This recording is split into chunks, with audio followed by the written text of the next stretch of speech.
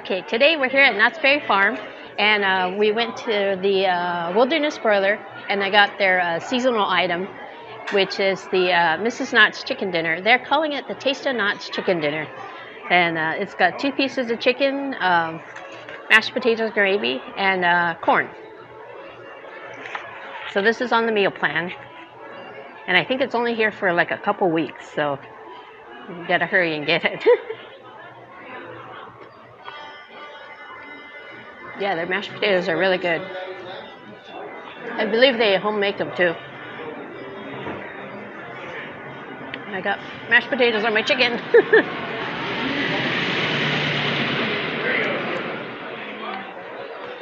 Our chicken is very tender. Um,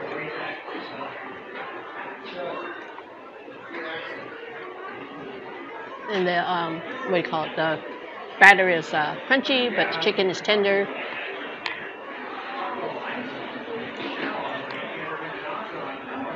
Some people don't like um, the Mrs. Knott's chicken because they don't.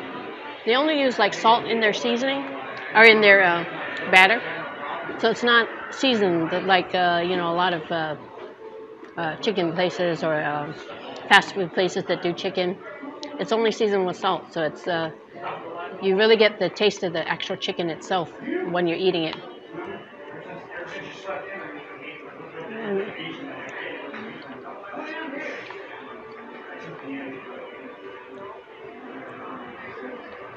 The corn is pretty good too.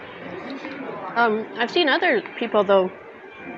The corn had like little red, uh, I guess, bell peppers or something in it.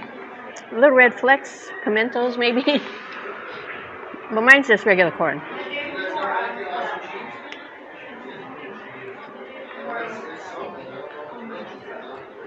So if you want to get the Mrs. Knott's dinner on your meal plan, you're going to have to hurry because it's only here for a limited time.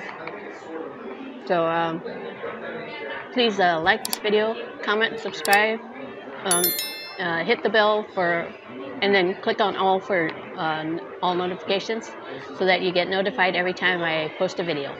So I'm going to take another bite and I'll see you in the next one. Mm.